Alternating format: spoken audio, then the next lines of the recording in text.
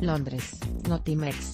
Guión al desfilar por la alfombra roja del London Film Festival, LFF, el director de la película Roma, el mexicano Alfonso Cuarón, aseguró que la historia que cuenta en su film conecta con el público a través de su propia experiencia.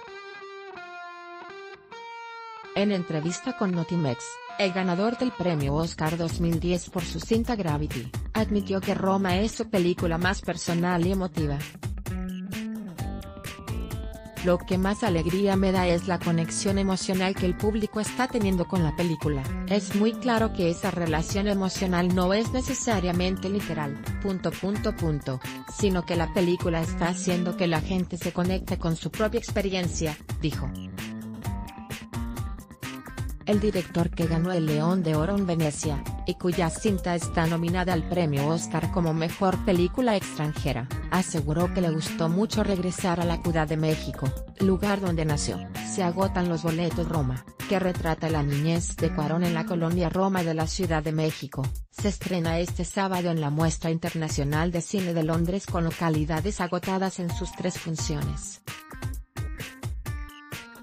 Regresar a México a grabar y reconectarse con su niñez ha sido una experiencia intensa, dijo el afamado director de cine.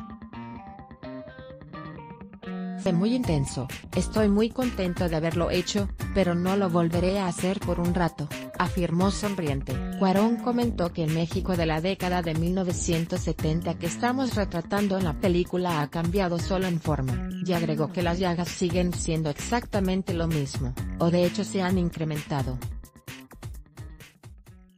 En la alfombra roja estuvo también la actriz mexicana Yalitza Aparicio, quien interpreta a Clio la empleada doméstica que es el personaje principal. Clio da vida Livo, la nana que cuidó a Cuarón durante su niñez.